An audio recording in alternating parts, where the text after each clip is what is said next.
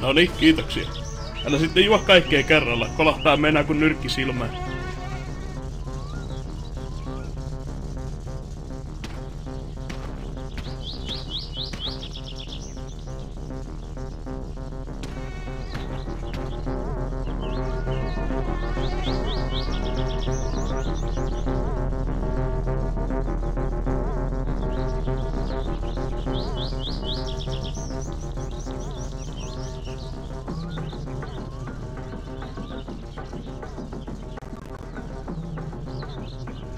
Ei, ei tää oo mitään hanavettä.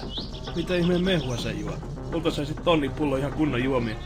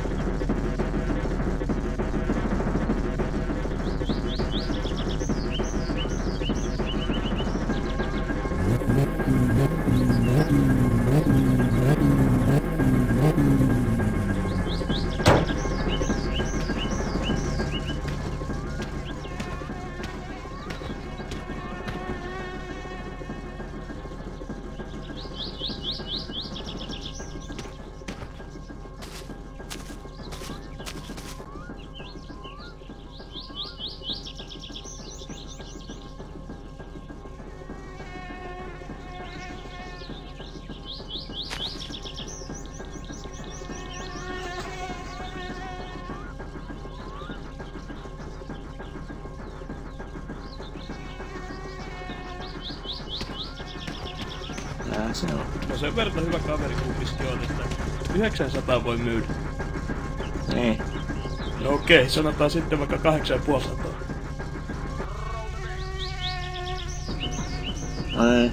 No joo, voin mä nyt sen pudottaa.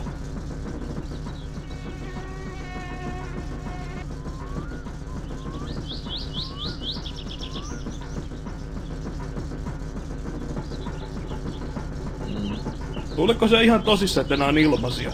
Vitu Mennä narukkaalle ja hyppää paskakaivoon. Mene säkin kotiin.